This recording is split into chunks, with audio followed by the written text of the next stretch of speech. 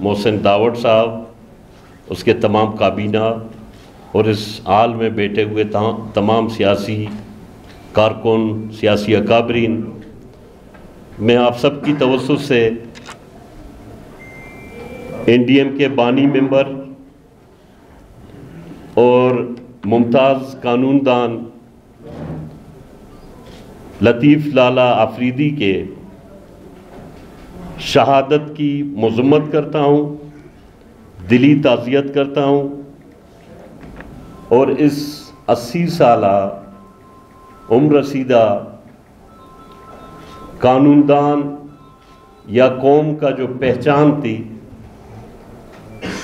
उसकी जदजोद को खराज अकीदत पेश करता हूँ।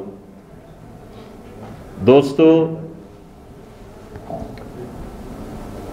ये एक मुस्लिम हकीकत है कि ऐसे हमारे अकाबरीन जो कानून की पासदारी करें या इस मुल्क के पार्लिमानी जमहूरी निज़ाम की या सियासी जमहूरी जदजोद में अपना किरदार अदा करें, इनको जिस्मानी सूरत में हमसे अलग किया जाता है, लेकिन ये ज़िंदा होते हैं रहती दुनिया तक। मैं समझता हूँ आज लतीफ़, लाला आफरीदी वो सबके दिलों में ज़िंदा है।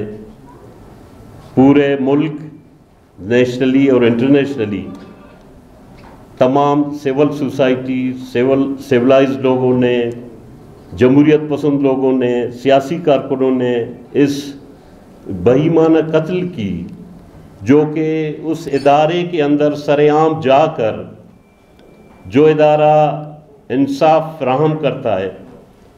उसको शहीद करना, वो सिर्फ़ ये मैसेज देना कि इस मुल्क में जहाँ किसी का दिल चाहे, वो बसानी किसी इंसान का जान ले सकता है, जो कि काबिल मजम्मत है। इंतहाई अफसोसनाक है। दोस्तों, तफसीली बात हुई शेर हासिल बेस हुई तमाम इशूज़ पे। बदकिस्मती से इस मुल्क में और इस दौर के इस माशरे में, जिस अंदाज में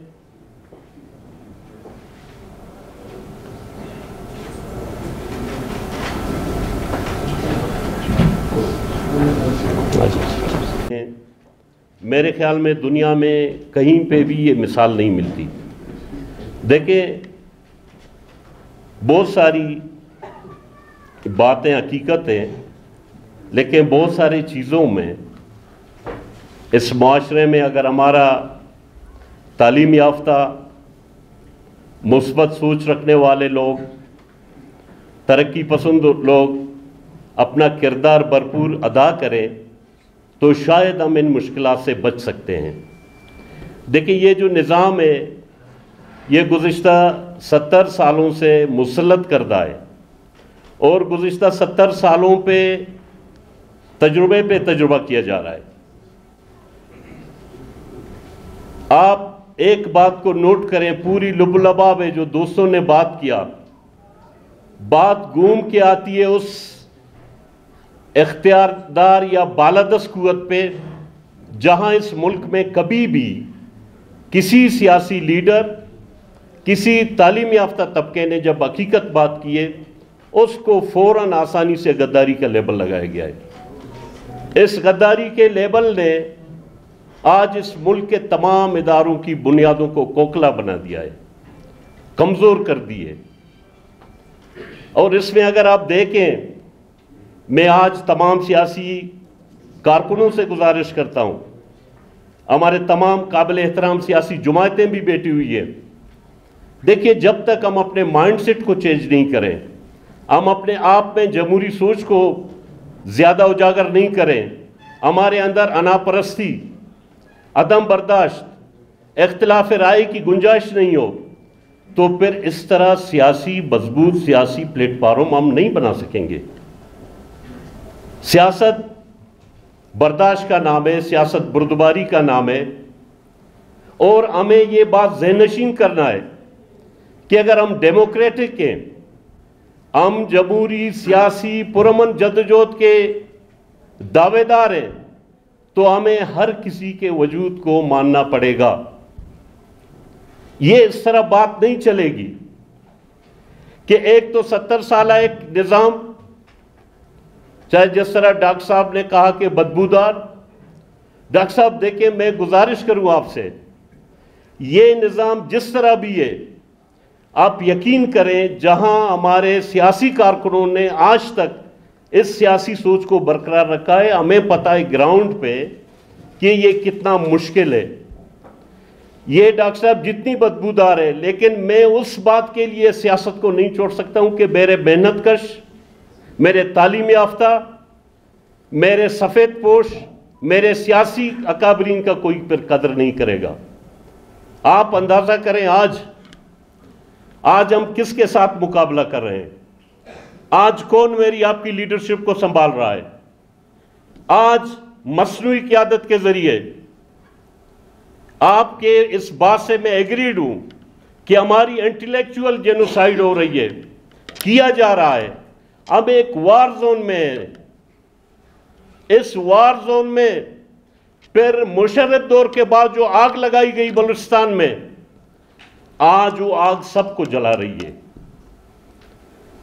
मैं आज आपको यह बताऊँ कि बलूचिस्तान में हम पश्तून बिल्टो चाहे बलूच बिल्टो हम सर उन लोगों को फेस कर रहे हैं जो ड्रग माफिया का किंग है।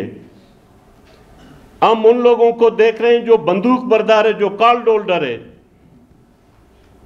आज अगर हम इस इस निज़ाम के हिस्सा नहीं बने, हम टुकड़े टुकड़े हो जाएँगे।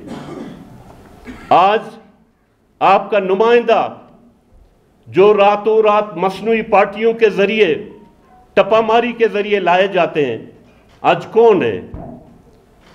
सिवाय एक दो पार्टियों के सियासी जमायतों के, आप खुद मैं ये सवाल करता हूँ इस जिम्मेदार फोरम पे कि क्या काटन पोश बंदूक बरदार आज जूनियर कलर्ट से लेकर वो भी मलिक टक्करी बनाया गया है।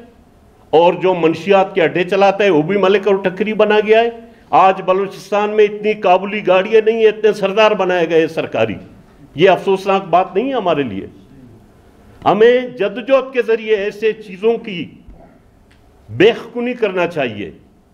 और मैं आज भी कहता हूँ कि अगर एनपी की लीडरशिप को मारा जाता है या बीएनपी के या नेशनल पार्टी के, सिर्फ़ एक ही बात है हम अदम तशद के दाइए हम कलम से मोहब्बत करते हैं। हम तरक्की पसंद हैं। तो लिहाजा, आज इस निज़ाम में, डॉक्टर साहब, ना आपको मायूस मायूस होना है, ना मुझे। हम रोज़ाना अपनी जानें गंवा रहे हैं। हम रोज़ाना अपने भाइयों के लाशें उठा रहे हैं। हमें पता है आज मैं वाजे करूँ इस जिम्मेदार फोरम के थ्रू कि अगर इस मुल्क के पार्लिमानी, जमहूरी, सियासी निज़ाम में अगर ये टप्पा मारी का धंधा चलता गया तो मैं आज से ये ऐलान करता हूँ कि हम इस निज़ाम पे बलुस्तान के नौजवान को कायल नहीं कर सकेंगे। जो एक आज नफरत की पहाड़ जैसी एक नफरत है तो फिर किसी के बस की बात नहीं है। कि जो नौजवान सरापा एहतजाज है वो पुरमन जदोजहद जमहूरी और पार्लिमानी निज़ाम पर भरोसा करे। क्योंकि आज जिस अंदाज में सियासी जमहूरी कुतों को, जमायतों को असल स्टेक होल्डर्स को दीवार से लगाया जा रहा है, उसकी मिसाल नहीं मिलती है।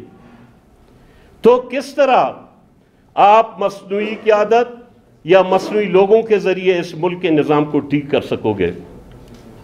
आज मैं बैसियत एक सियासी तालब इल्म के, और मैं ये समझता हूँ हमारे अकाबरीन, मीर गोलबश बिजंजो सरदार अताउल्ला मेंगल साहब, खान अब्दुल खान साहब बाचा खान साहब, जिन लोगों ने अपनी पूरी ज़िंदगी जदोजहद में गुजारी, जेलों में गुजारी, उनको इकतदार का लालच नहीं था। उनको सिर्फ़ ये लालच थी कि हम इस बुनियाद को रख रहे हैं, हम लोगों को सियासी तालीम दें। कती तौर पर उनके जदोजहद में कोई नफरत की बात नहीं थी। वो हर किसी की वजूद को मानते थे। आज भी वक्त है कि हम इस बात पे इतफाक हो जाएँ मुतफिक हो जाएँ कि हम अगर नफरत करेंगे तो हमारे दरमियान आज मुख्तलिफ़ किस्म के लोग पैदा किए जाएँगे। और आज मुख्तलिफ़ ऐसे लोगों को क्यादत दी जा रही है जहाँ कोई ना सियासत की अबजद को जानता है, ना ए बी सी को। मैं ये समझता हूँ, सर, लतीफ़ लाला जैसे हस्ती और मीर आसिल बीजन जो जैसे तवाना आवाज़ और इनकी जो जदोजहद है, उसको हम उस वक़्त बरकरार रख सकेंगे। हम तमाम मजलूम, महकूम तबकात की तवाना आवाज़ बने और हमें बनना पड़ेगा। हमें अपने तालीम याफ्ता को मायूसी से बचाना पड़ेगा। हमें अपने नौजवान को बेरा रवि से बचाना पड़ेगा।